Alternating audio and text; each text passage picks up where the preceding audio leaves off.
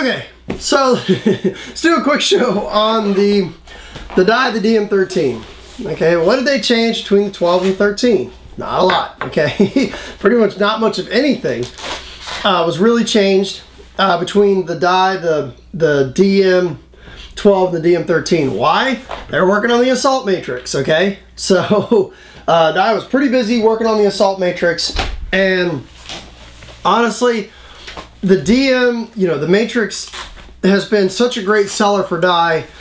They really are. I don't think you're going to see any sort of crazy radical changes to this gun uh, for, for the next several years. I mean, it, it's just been, it's the flagship marker of Dye. It's been a consistent seller for like the past, I don't even know, eight plus years.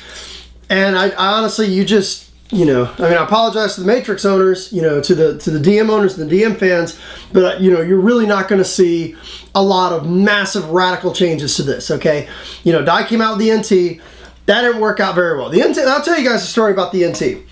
The NT was not was not meant to be marketed towards DM owners. Okay, the NT was supposed to be marketed more towards poppet owners. Okay, the the basically the biggest difference between the NT and the DM was the DM was supposed to be a uh, slower moving bolt designed for basically like PSP style play, and the NT was supposed to be a faster moving bolt, more designed for semi-auto type play. Okay, the NT was more designed, uh, the feel of it and how it shot stuff like that was supposed to be for people that are shooting poppets that wanted to try shooting spool valve guns, but you what ended up happening was a lot of people that shot DMs tried to shoot the NTs and they didn't like them. Okay, well, it doesn't shoot like the DM. No kidding, it's not a DM. So, you know, Dye learned their lesson really, really quickly about, you know, messing with, uh, you know, or trying to come out with, you know, new products that are going to cannibalize on their own sales and stuff like that.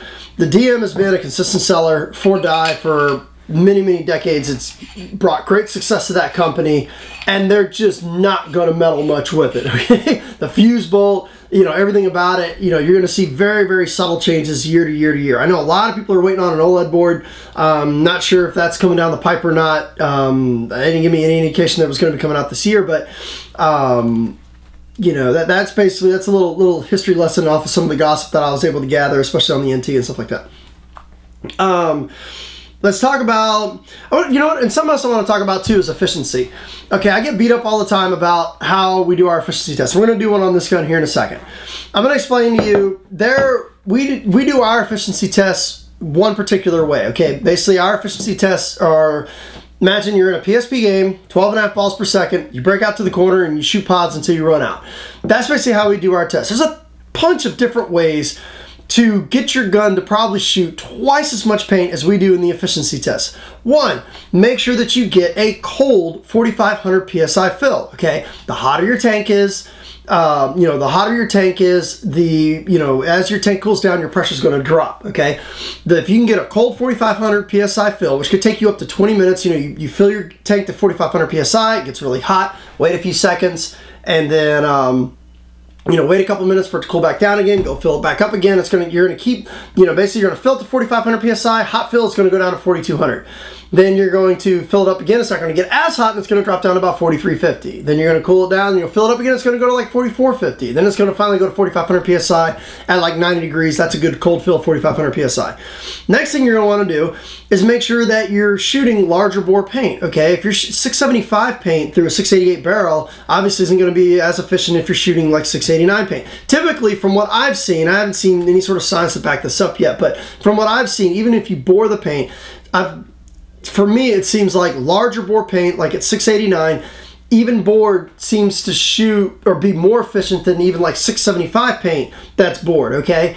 Um, maybe it's because it's more surface area, maybe it's like a you know sail on a, on a boat or something like that, I don't know. Next thing you want to do is instead of shooting at ramping, which is going to freeze your tank very, very quickly, shoot it at semi-auto and shoot it very slowly, okay? Instead of sitting there, go like this, one ball per second, okay? What that's going to do is, is the tank pressure isn't going to drop as quickly because it's not getting chilled, so you're going to get significantly more shots. So, and also another thing you can do is instead of chronoing the gun at 300, 300 uh, FPS, chrono it at 285.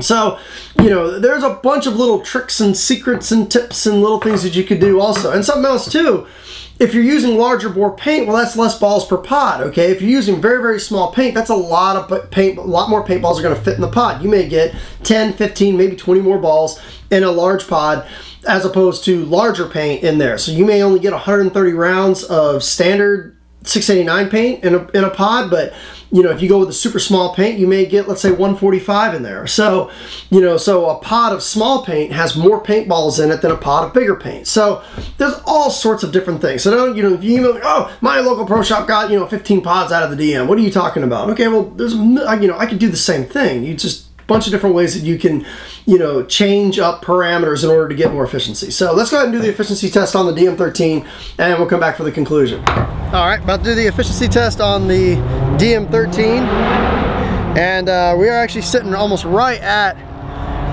4,500 PSI. Um, so uh, now we're gonna do, tank's a little warm, probably about 9,500 degrees. I'm sorry, the uh, our uh, tank tank temperature reading gauge, it, the uh, battery died on it. So what we're gonna do is just go ahead and chronograph it really quick. Load up our first pod.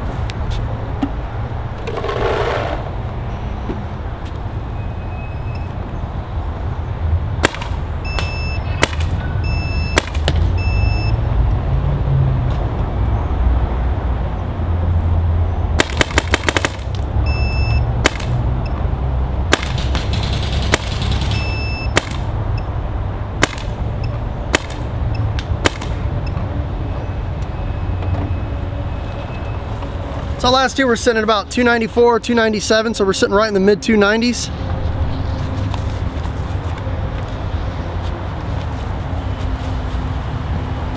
That's, uh, that should be good, so yeah.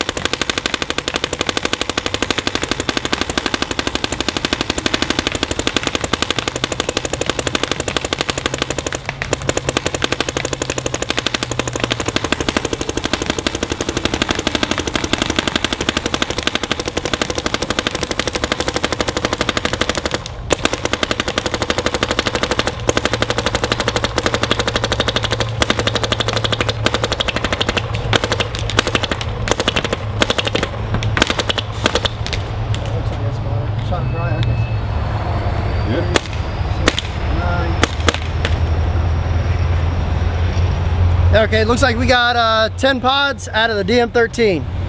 Thank you.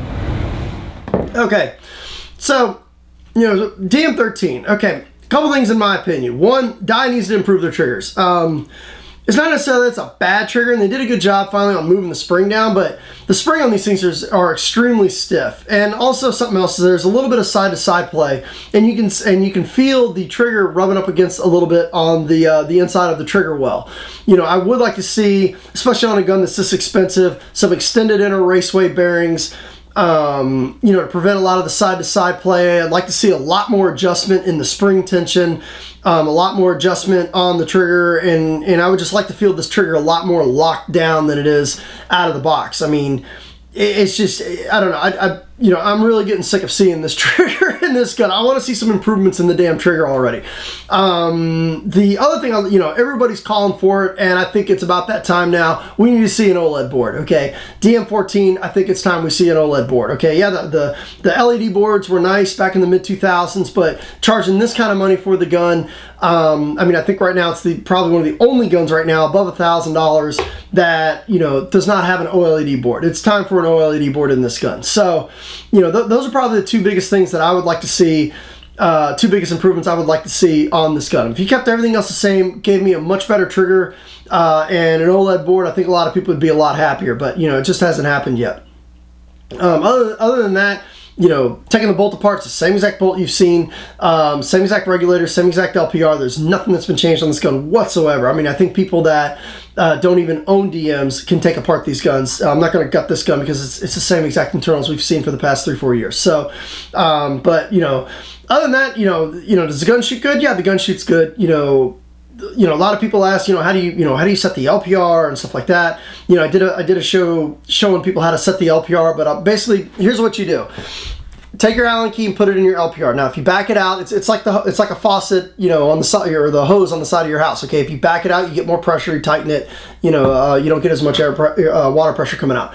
Here's what you do: degas the gun completely, and make sure there's no air in the gun whatsoever. Because you want to crease your your your seal go ahead and uh, tighten it. You know, go ahead and, and, and tighten it. Now you don't want to you don't want to torque it down. You just want to go until you feel it finger tight, and then back it out about one turn. Now you're going to air the gun up, and you want to keep backing it out until you see the bolt get sucked back.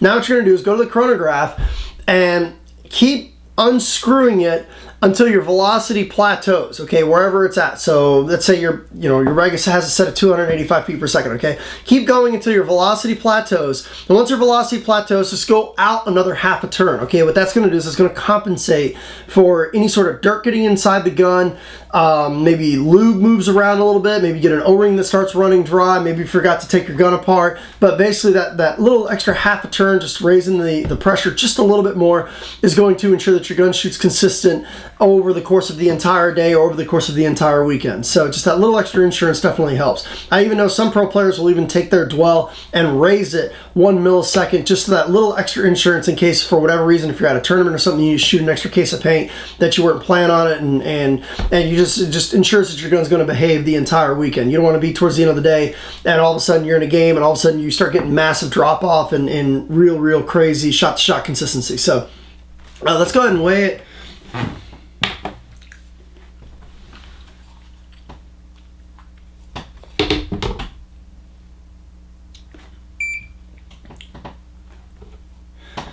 So two pounds, almost six ounces, not a light gun.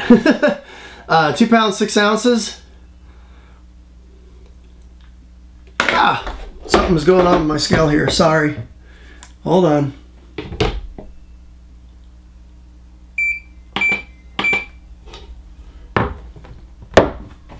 There we go. So two pounds, 5.7 ounces. Not a light gun. And it's not a small gun by any stretch of the imagination either, okay? The gun is very tall, very big, um, compared to some of the other guns that are out there on the market. I mean, you've got the LPR and the bolt here in the back. Uh, definitely quite a bit of metal, probably four inches of metal from the from the bottom of your of your hand to the top of the gun. Um, you know, but but then again, you know, when you're shooting a DM, well, one of the biggest things a lot of people like to say about the DM is, oh, it doesn't it doesn't have any kick. Well, having all that extra metal and mass behind the ball definitely helps in it not having a lot of kick. So, you know, it's just it's just the nature of the beast. You go to a super lightweight gun, you're going to feel the recoil a lot more. Go to a slightly heavier gun, you know, you're going to get less recoil. So, um, that's it. I mean, I, you know, Dye's at the point right now. I want to see OLED boards in their guns. I want to. See, I want a better adjustable trigger. I'd like to see some extended inner raceways on here so the trigger's locked down, no side to side play, more adjustability um, in the, uh, especially on the tension of the trigger and stuff like that. Um, maybe even it's time we get a you know trigger activation screw in here so that we can adjust exactly where we want the trigger to activate. Um, you know, posting pre-travel is there through the sides, but you know, I, I, think the trigger is due for an overhaul. I've been seeing the same trigger for the past few years and OLED board. That's what I want to see for the next uh, DM. Thanks for tuning in.